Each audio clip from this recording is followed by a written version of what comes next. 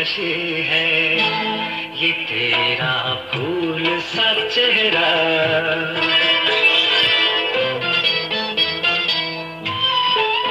पाकिस्तान की खूबसूरत और पुरकशिश फनकारा निशु ना सिर्फ़ खुद बहुत शहरत याफ्ता और मकबूल फनकारा रही हैं, बल्कि इनकी बेटी साहिबा ने भी फ़िल्म और टेलीविज़न पर बड़ी शहरत और मकबूलियत हासिल की है। साहिबा ने अपनी शहरत और अरूज के ज़माने में ही अदाकार अफजल खान, जिसे जॉन रेमो के नाम से जाना जाता है, से शादी करके शोबिस की दुनिया से किनारा कशी इख्तियार कर ली थी।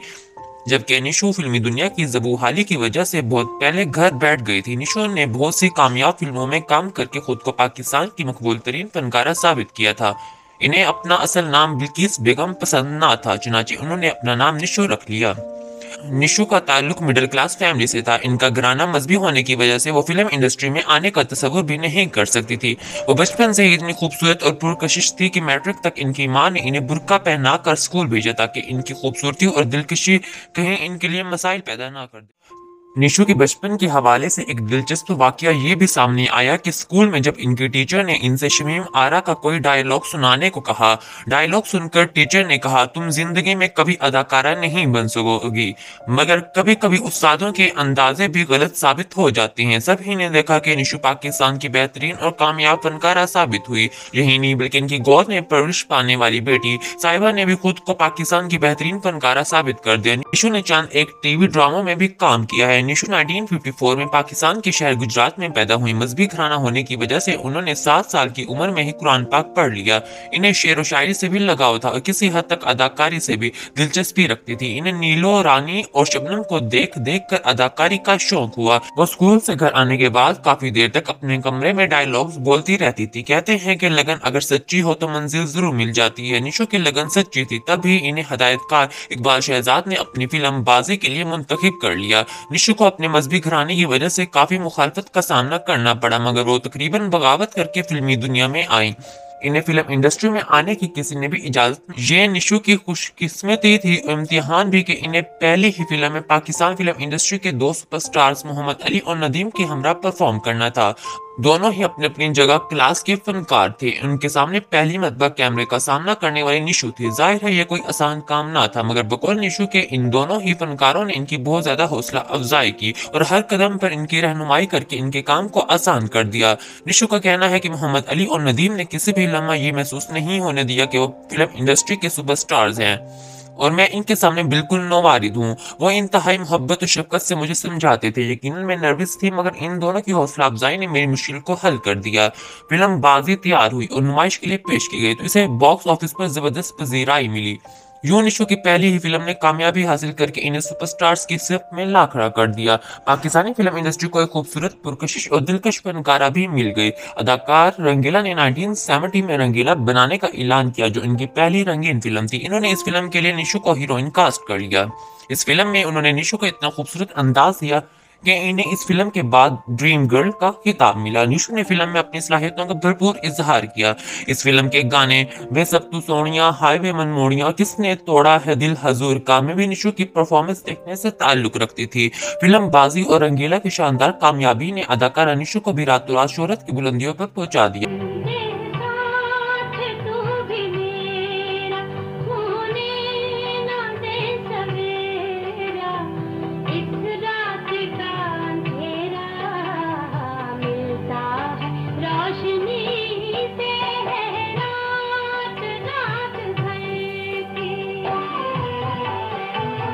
इस जमाने में शबनम शमीम आरा, रानी संगीता वगैरह फ़िल्म इंडस्ट्री पर राज कर रही थी। जेबा और दीबा वगैरह भी फ़िल्मों की मारूफ अदाकाराएँ कहलाती थी।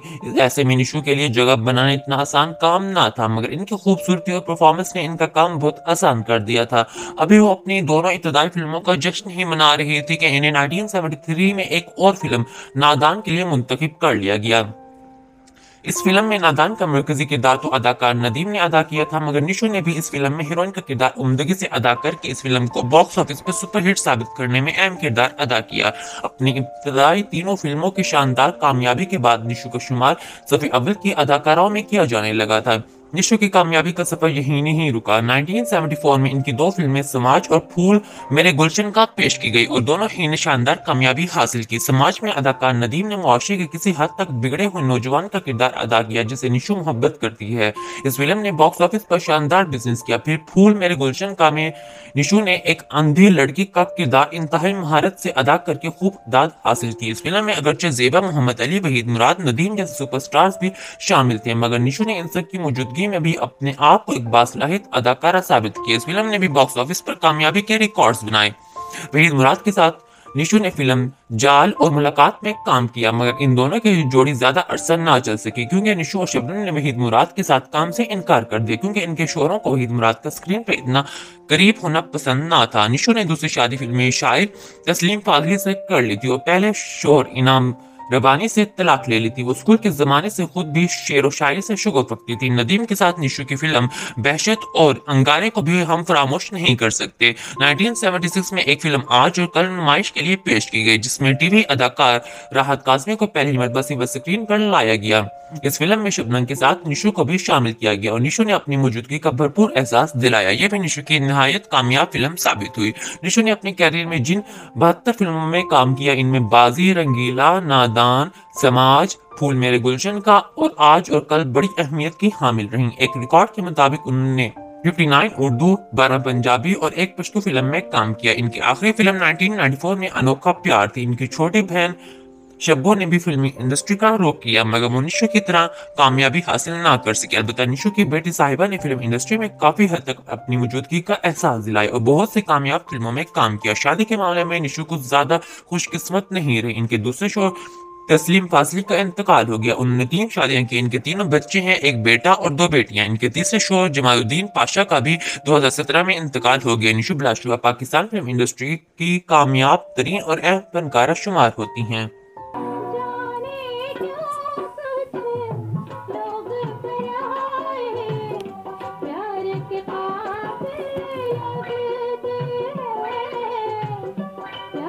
के पास